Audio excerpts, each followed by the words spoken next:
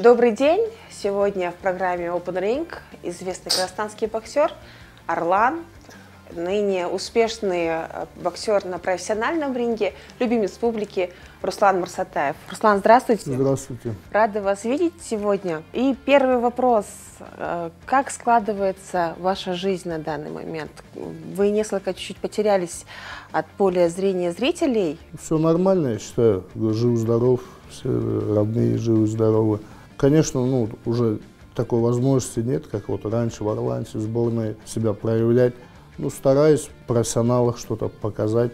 Нет-нет, выпадает время даже чуть-чуть тренером, ну, как бы себя пробую, ребят немножко там что-то чему-то учу. Так жизнь идет дома, в основном в Алмате. Тренируюсь, вот, работаю с Ханатом Алтаевым. Сколько встреч вы провели на профессиональном ринге на данный момент? Восемь вообще провел, ну, как так получилось, что две встречи там не получилось как-то вот зарегистрировать, за, в этот зачетку за, занести. Ну ничего, так значит надо было. Ни одного проигрыша?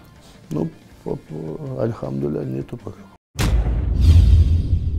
Руслан, вы достаточно известный как боксер любительского бокса, звезда Астана Орланс. Да, в течение четырех лет зажигали.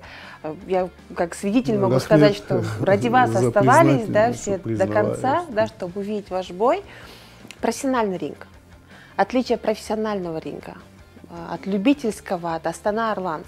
Ну, я скажу примерно Астана Орланс с профессиональным что-то похожая да, система подготовки. Но ну, она отличается от олимпийского, любительского бокса. Но вот орландцевская подготовка и профессионального немножко ну, она похожа. Да? Ну, есть отличия. В профессиональном боксе там много уделяется на физическую подготовку.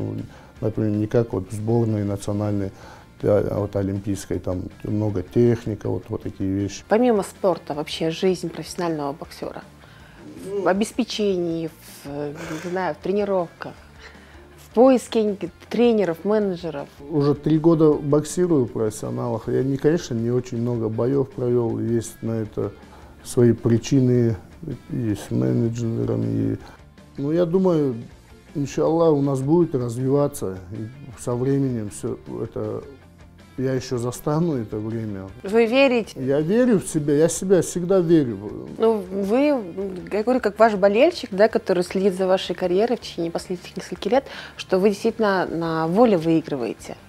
То есть немаловажную роль играет характер. Я пришел в 17 лет, можно сказать, я пришел на бокс, мне через месяц 17 лет исполнилось. Я вот помню, первый раз я зашел в зал, меня не брал тренером на тренировке. Тебе сколько, говорит, лет? А я с работы шел, такой весь грязный, там, это, с сумками, там, я работал официантом, да, ну, разносил еду. И он говорит, сколько лет? Я говорю, вот я 16, мне через месяц, полтора, 17. Иди отсюда, говорит, тебе поздно. Я, ну, можно я для себя, я хочу. До бокса я много уличных потасов, ну, так получалось. Сам по себе боец, да? Ну, не то, что боец. Ну, почему-то вот я с села приехал в город учиться, а там немножко как взгляды другие, понимание. И приходилось много в потас... уличных потасовках, в драках. Ну, хотя я не профессионально мало занимался, где-то футболом немножко, рукопаш. Но я достаточно нормально дрался в уличных драках. Я зажегся боксом. Я один сон увидел, честно скажу, да, я во сне увидел перчатки, ринг. И я увидел один, случайно увидел Олимпийские игры в 2000 году. Я увидел одного тяжеловеса. Мне так это зажгло, ну, правда, я только через два года пришлось мне попасть на бокс. Я работать стал ну, днем учился в школе, вечером работать выходил. Я пришел в зал, мне тренер еще не берет. Ты, говорит, уже старый, говорит, у меня чемпионы страны есть, говорит, твои возраста. Через сколько лет после того, как вы пришли в этот зал, вы поехали на Олимпиаду? Ну, я в 2002 пришел в зал, через 6 лет я попал на Олимпийские игры. Руслан, ну, ну это ну, достойно восхищения. Честно скажу, я хорошо, неплохо учился, да, всегда. Кто был первым тренером? Владимир Рослов, первый мой тренер, который вот меня обучил, обучал. Ну, я, интересная с ним история. Я когда пришел к нему, через три месяца, он мне, два месяца он выставил на соревнования. В первом же бою я победил нокаутом. И он мне сам сказал, ты не бросай, говорит, бокс. Один раз на тренировке сказал, ну он мне так как бы по приколу, сынок, у тебя нету таланта особого, но ты, говорит, очень трудолюбивый, говорит, ты люби, и терпеливый. Это может свои тоже результаты дать. Он мне всегда говорил, что я особо не талантливый, но я, например, я вот, например, хорошо я учился, да, неплохо. Но я мне так влюбился в бокс, я утром, мама думала, я шел на этот, школу, а я шел на тренировку утром. Я потренировался, пришел домой с портфелем, как будто уже 10 класс, и как будто я со школы. И я опять посплю чуть, покушаю и опять иду на тренировку. И когда я вообще первый раз на соревнования попал, и я нокаутировал человека, я удивился сам. И он мне сказал, что я вообще не бросал. И сам мне стал помогать где-то где, -то, деньгами, где-то там одежду. Там. Ну, честно скажу, я, учеба у меня плохо стала. Вы закончили школу? Я школу закончил, но так получилось, что пришлось в своем селе вечернюю школу закончить. Кто вас пригласил в Орландс? Вы в Орландцах тренировались с Ковальчком? У меня так получилось, после Олимпийских игр я потерялся на год, на 9 месяцев. Такие проблемы возникли опять, что у меня со здоровьем нашли. И мне запретили боксировать. Меня нигде не допускали, не стали допускать соревнований около 4-5 соревнований меня просто, я приезжал, меня снимали, и он говорит, у него со здоровьем.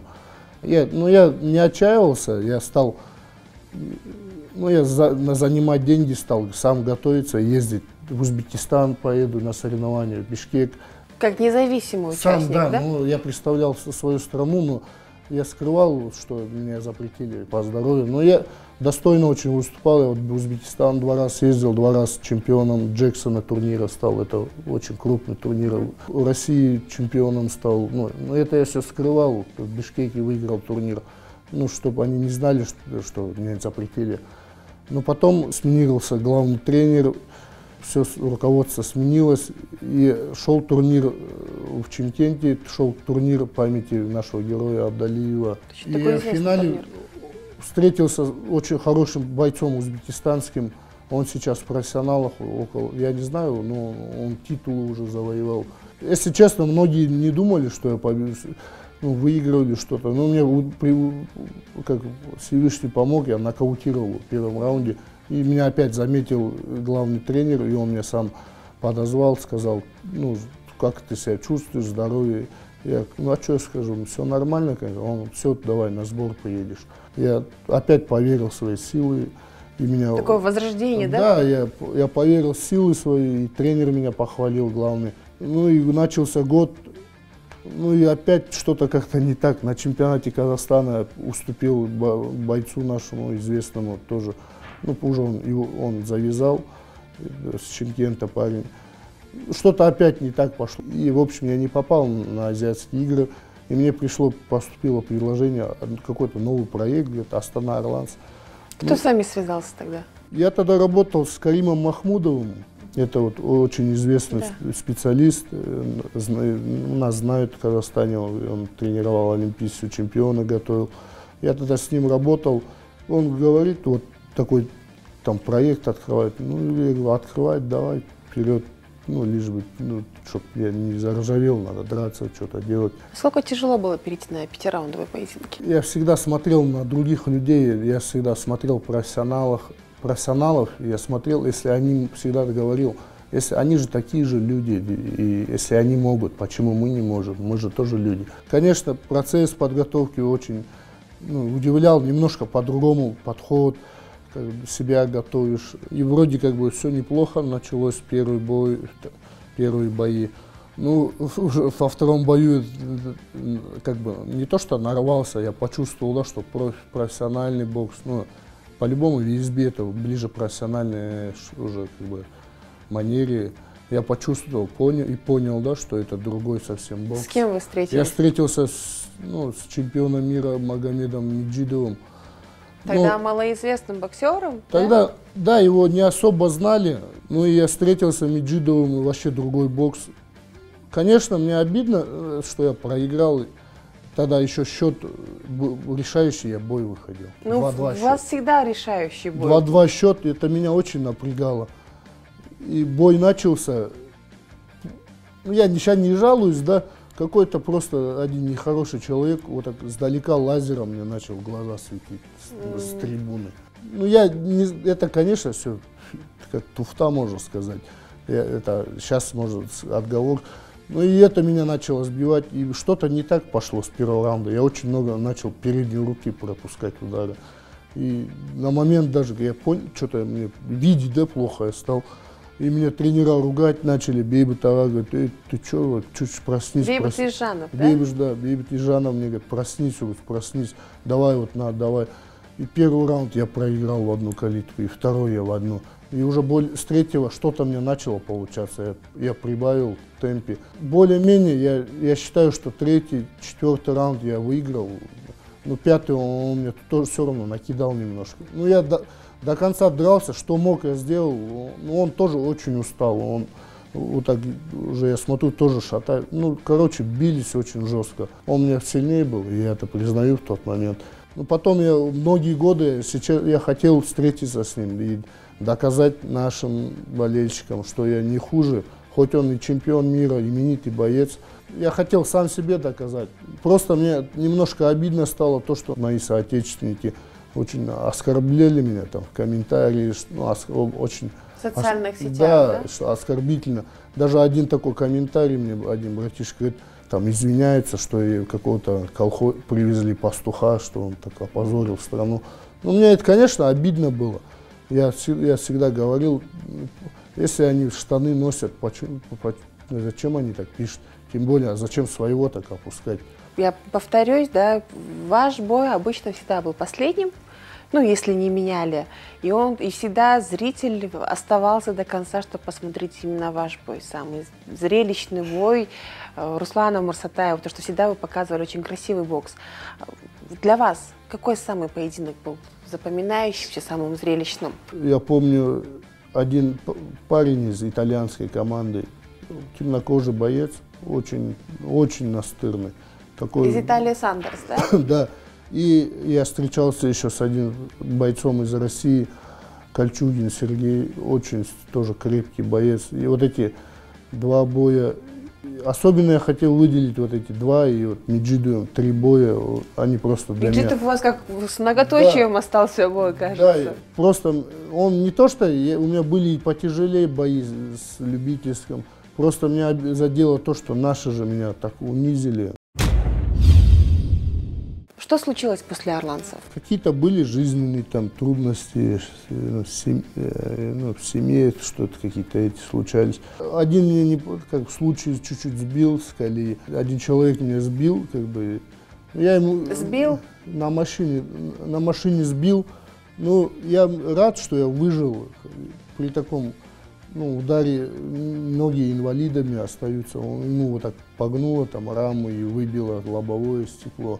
Когда он меня привез в, этот, в больницу, доктор увидел вот эту машину егошную, и, мои, и то, что у меня ни одного перелома, трещины, и то, что органы все на месте, и то, что он удивился, что я, он, я, он мне голову не зацепил, ну, все тело, на, на, когда я на тело, на спину удар принял.